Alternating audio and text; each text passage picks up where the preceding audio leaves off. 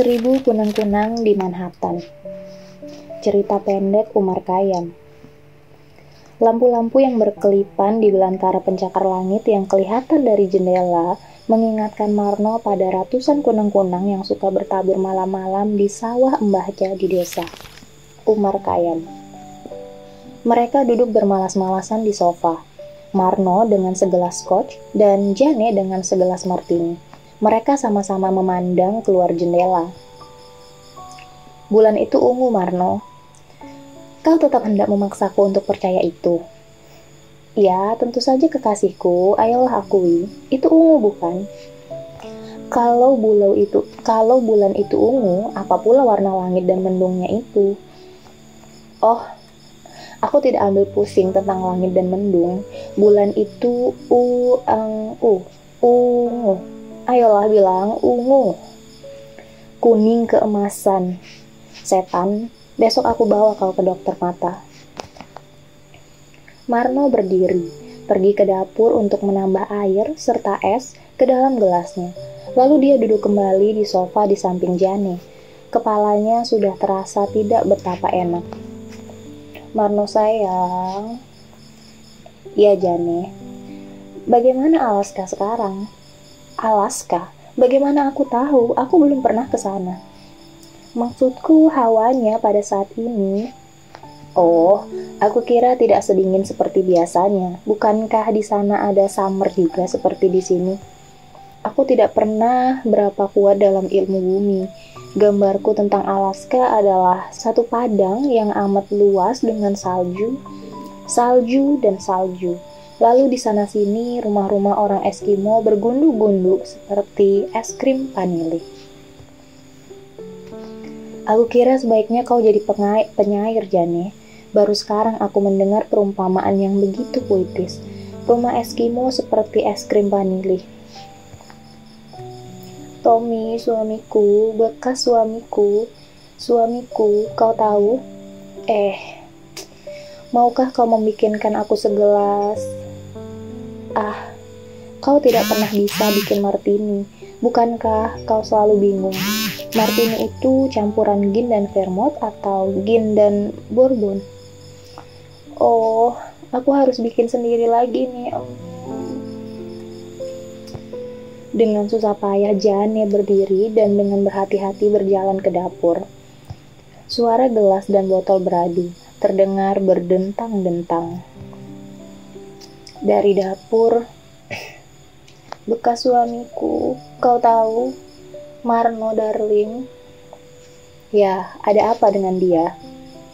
Aku merasa dia ada di Alaska sekarang. Pelan-pelan Jane berjalan kembali ke sofa. Kali ini duduknya mepet Marno. Di Alaska, coba bayangkan di Alaska.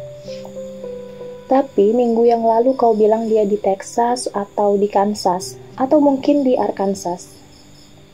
Aku bilang aku merasa Tommy berada di Alaska. Oh, mungkin juga dia tidak di mana-mana. Marno berdiri, berjalan menuju ke radio lalu memutar knopnya. Diputar-putarnya beberapa kali kenop itu hingga mengeluarkan campuran suara-suara yang aneh. Potongan-potongan lagu yang tidak tentu serta suara orang yang tercekik-cekik.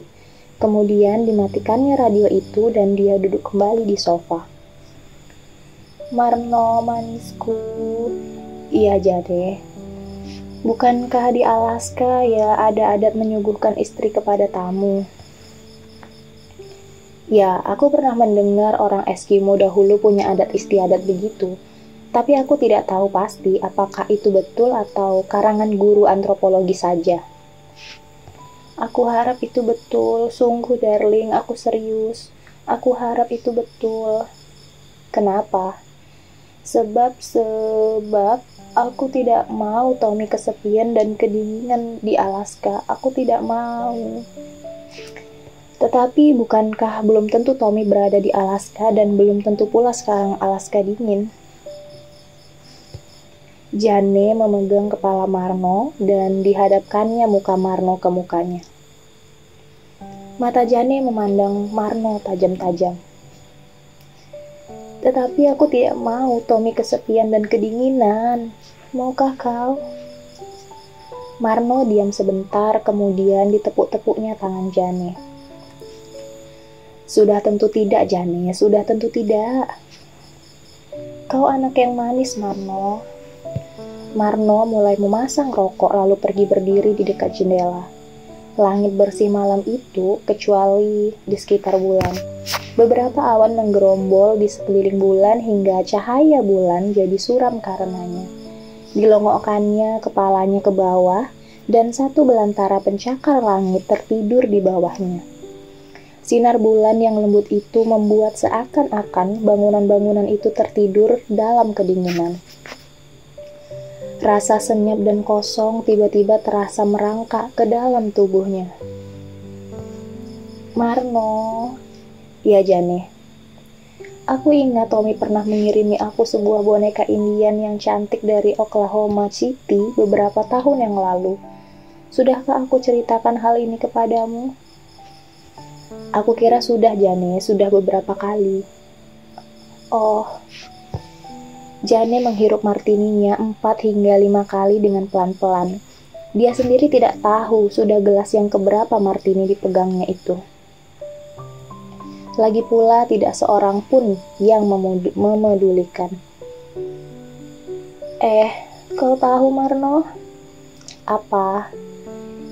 Empire State Building sudah dijual. Ya, aku membaca hal itu di New York Times. Bisakah kau membayangkan punya gedung yang tertinggi di dunia? Tidak. Bisa apa kau? Bisa, bisa. Bagaimana? Oh, tak tahulah. Tadi aku kira bisa menemukan pikiran-pikiran yang cabul dan lucu. Tapi sekarang tahulah Lampu-lampu yang berkelipan di belantara pencakar langit yang kelihatan dari jendela mengingatkan Marno pada ratusan kunang-kunang yang suka bertabur malam-malam di sawah embahnya di desa. Oh, kalau saja...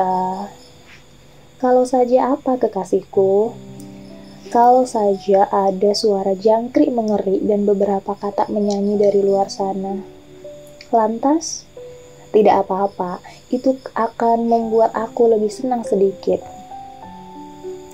Kau anak desa yang sentimental. Biar.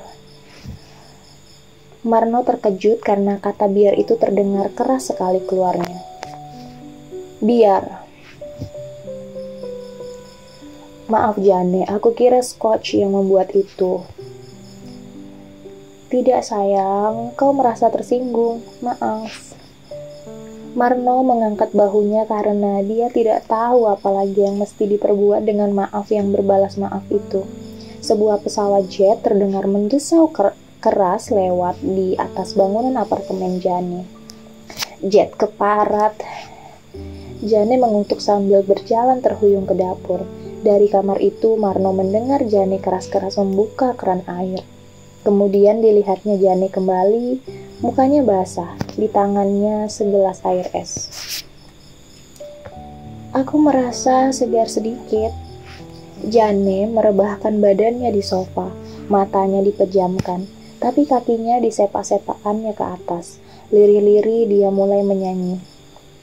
Deep blue sea baby, deep blue sea, deep blue sea baby. Lucy. Pernahkah kau punya keinginan lebih-lebih dalam musim panas begini untuk telanjang lalu membiarkan badanmu tenggelam dalam sekali di dasar laut yang teduh itu? Tetapi tidak mati dan kau bisa memandang badanmu yang tergeletak itu dari dalam sebuah sampan. Heh? Oh, Maafkan aku kurang menangkap kalimatmu yang panjang itu. Bagaimana lagi, Jane? Oh, lupakan saja. Aku cuma ngomong saja. Di blue sea, baby. Di blue sea. Di blue. Di blue sea, baby. Di blue sea. Marno. Ya, kita belum pernah jalan-jalan ke Central Park Zoo, kan? Belum, tapi kita sudah sering jalan-jalan ke parknya. Dalam perkawinan kami yang satu tahun delapan bulan tambah sebelas hari itu, Tommy pernah mengajakku sekali ke Central Park Zoo. Hah, aku ingat kami berdebat di muka kandang kera.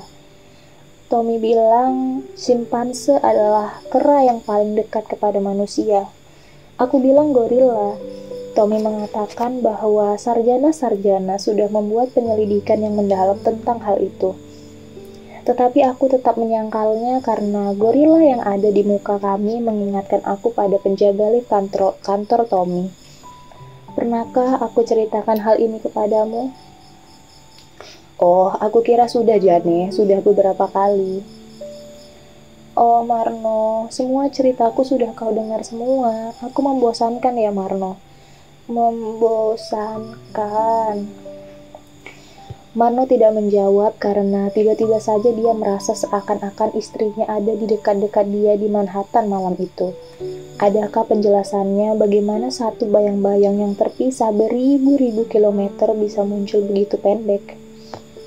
Ayolah Marno, kalau kau jujur tentulah kau akan mengatakan bahwa aku sudah membosankan. Cerita yang itu-itu saja yang kau dengar tiap kita ketemu. Membosankan ya, membosankan. Tapi tidak semua ceritamu pernah aku dengar. Memang beberapa ceritamu sudah beberapa kali aku dengar. Bukan beberapa sayang, sebagian besar. Baiklah, taruhlah sebagian terbesar sudah aku dengar. Aku membosankan jadinya. Marno diam tidak mencoba meneruskan. Disedotnya rokoknya dalam-dalam, lalu dihembuskannya lagi asapnya lewat mulut dan hidungnya. Tapi Marno, bukankah aku harus berbicara? Apalagi yang bisa aku kerjakan kalau aku berhenti bicara? Aku kira Manhattan tinggal tinggal lagi kau dan aku yang punya. Apakah jadinya kalau salah seorang pemilik pulau ini jadi capek berbicara? Kalau dua orang terdampar di satu pulau, mereka akan terus berbicara sampai kapal tiba, bukan? Janin memejamkan matanya dengan dadanya lurus-lurus terlentang di sofa. Sebuah bantal terletak di dadanya. Kemudian dengan tiba-tiba dia bangun, berdiri sebentar, lalu duduk kembali di sofa. Marno, kemarilah, duduk. Kenapa? Bukankah sejak sore aku duduk terus di situ? Kemarilah, duduk. Aku sedang enak di jendela sini, Jane. Ada beribu kunang-kunang di sana. Kunang-kunang? Ya. Bagaimana rupa kunang-kunang itu? Aku belum pernah lihat. Mereka adalah lampu suar kecil-kecil sebesar nokta. Begitu kecil. Ya, tetapi kalau ada beribu kunang-kunang hinggap di pohon pinggir jalan, itu bagaimana? Pohon itu akan jadi pohon hari Natal. Ya, pohon hari Natal. Marno diam lalu memasang rokok sebatang lagi. Mukanya terus menghadap keluar jendela lagi, menatap ke satu arah yang jauh entah ke mana. Marno, waktu kau masih kecil, Marno, kau mendengarkan aku kan? Iya. Waktu kau masih kecil, pernahkah kau punya mainan kekasih? Mainan kekasih. Mainan yang begitu kau kasihi hingga ke mana pun kau pergi selalu harus ikut. Aku tidak ingat lagi Jane. Aku ingat sesudah aku agak besar, aku suka main-main dengan kerbau kakekku, si Jilamprang. Itu bukan mainan, itu piaraan. Piaraan bukankah untuk mainan juga? Tidak selalu. Mainan yang paling aku kasih dahulu adalah Uncle Tom. Siapa dia? Dia boneka hitam yang jelek sekali rupanya, tetapi aku tidak akan pernah bisa tidur bila Uncle Tom tidak ada di sampingku. Oh, itu hal yang normal saja, aku kira. Anakku juga begitu, punya anakku anjing-anjingan bernama Vivi. Tetapi aku baru berpisah dengan Uncle Tom sesudah aku ketemu Tommy di high school. Aku kira aku ingin Uncle Tom ada di dekat-dekatku lagi sekarang. Diraihnya bantal yang ada di sampingnya, kemudian digosok-gosokkannya pipinya pada bantal itu. Lalu tiba-tiba dilemparkannya lagi bantal itu ke sofa dan dia memandang kepala Marno yang masih bersandar di jendela. Marno sayang. Ya. Aku kira cerita itu belum pernah kau dengar bukan? Belum Jane. Bukankah itu ajaib? Bagaimana aku sampai lupa menceritakan itu sebelumnya? Marno tersenyum. Aku tidak tahu, Jane. Tahukah kau, sejak sore tadi baru sekarang kau tersenyum. Mengapa? Marno tersenyum. Aku tidak tahu, Jane. Sungguh. Sekarang Jane ikut tersenyum. Oh iya, Marno manisku. Kau harus berterima kasih kepadaku. Aku telah menepati janjiku. Apakah itu, Jane? Piyama, aku telah belikan kau piyama tadi. Ukuranmu medium large kan? Tunggu ya. Dan Jane seperti seekor kijang yang mendapatkan kembali kekuatannya sesudah terlalu lama berteduh, melompat-lompat masuk ke dalam kamarnya.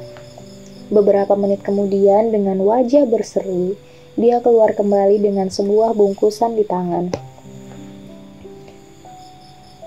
Aku harap kau suka pilihanku, Dibukanya bungkusan itu dan dibeberkannya piyama itu di dadanya. Kau suka dengan pilihanku ini? Ini piyama yang cantik, Jane. Akan kau pakai saja malam ini. Aku kira sekarang sudah cukup malam untuk berganti dengan piyama. Marno memandang piyama yang ada di tangannya dengan keraguan.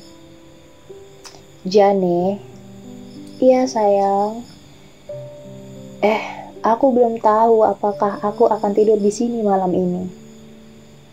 Oh, kau banyak kerja. Eh, tidak seberapa sesungguhnya, cuma tak tahulah. Kau merasa tidak enak badan. Aku baik-baik saja. Aku eh tak tahulah Jane. Aku harap aku mengerti sayang. Aku tak akan bertanya lagi. Terima kasih Jane. Terserahlah, cuma aku kira aku tak akan membawanya pulang. Oh, pelan-pelan dibungkusnya kembali piyama itu lalu dibawanya masuk ke dalam kamarnya. Pelan-pelan Jane keluar kembali dari kamarnya. Aku kira aku pergi sekarang saja, Jane. Kau akan menelpon aku hari-hari ini kan? Tentu, Jane. Kapan aku bisa mengharapkan itu?